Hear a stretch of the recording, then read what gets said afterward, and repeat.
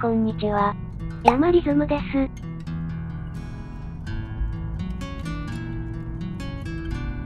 今回は、静岡県浜松市の秘境にある駅、大曽駅に向かってヤリスクロスを走らせています。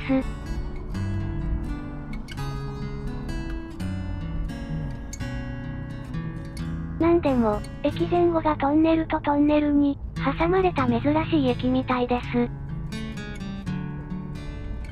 自分は撮り鉄ではないですが、今回だけ、にわか撮り鉄になります。撮り鉄さんお邪魔します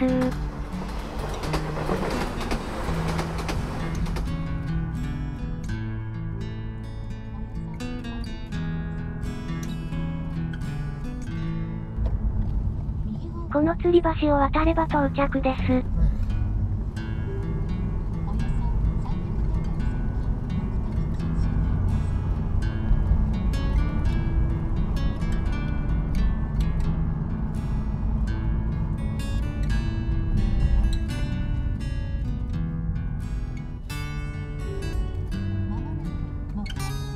駅舎が見えてきました。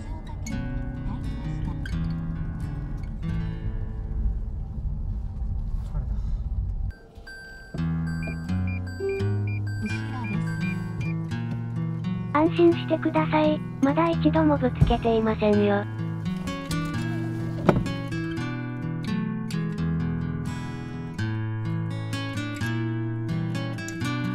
ボールで仕切られているだけなんですね。かにトンネルとトンネルに挟まれた駅ですね。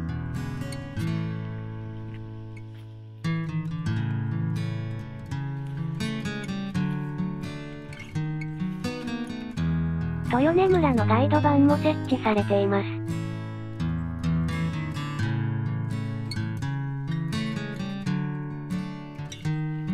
お魚さんたちがお出迎えをしてくれます。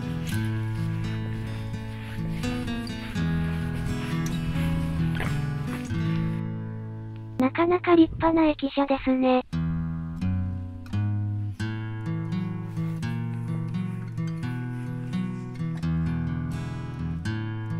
平日にしか停車しないんでしょうか。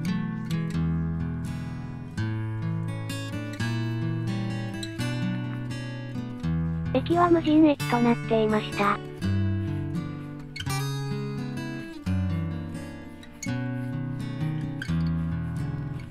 間帯のせいなのか、こんな立派な駅にもかかわらず、人っ気が全くなかったので、まるで異世界にでも来たかのようなそんな、不思議な感じがしました。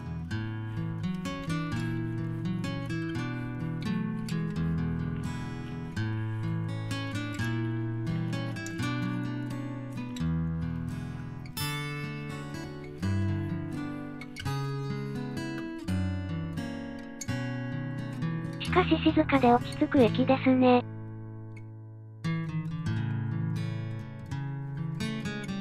まるで子供の頃よくやっていたゲーム、僕の夏休みのワンシーンに出てきそうなそんな、ところです。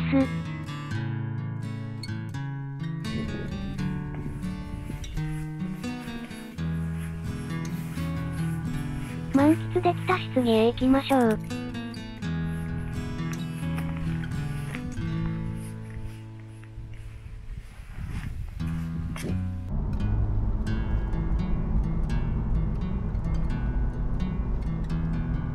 お次は林道を走っていく予定でしたが、途中、鹿の白骨化した遺体があり先へは行けなかったので断念しました。しかしカメラは回していたので、記録には残っています。ここからは、視聴しても大丈夫な方のみご視聴お願いします。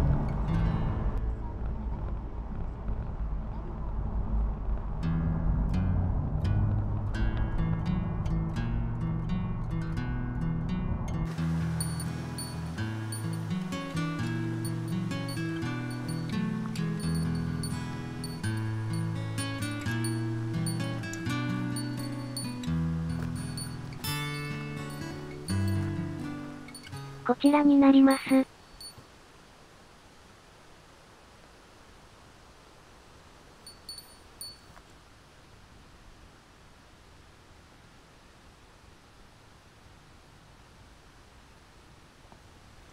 死んだ後かはわかりませんが、他の動物に食べられたせいで、骨が散らばって落ちています。まだ毛が残っておりどれほどの大きさだったのかが、毛の後で大体わかります。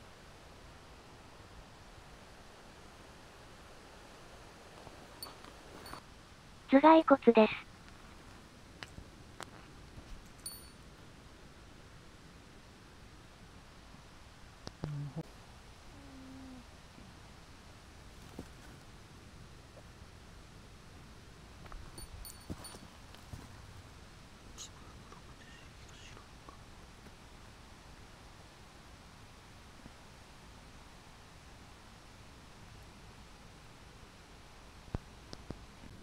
詳しくないのでわかりませんが、毛の色からしてカモシカでしょうかね。角も短いですし。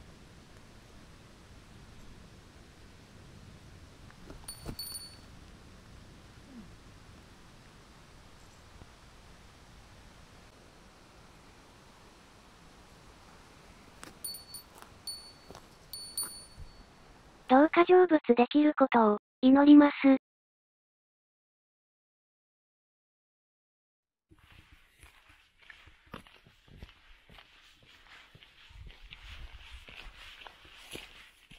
先ほどのは驚きましたね。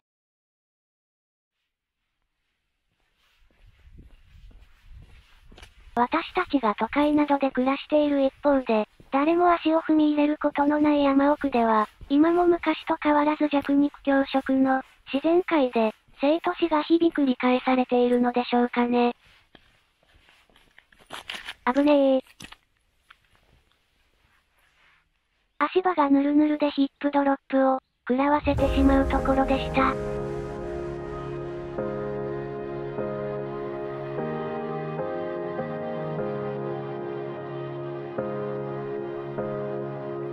今回は、改めて、リアルな自然界を目の当たりにしました。今回も最後までご視聴ありがとうございました。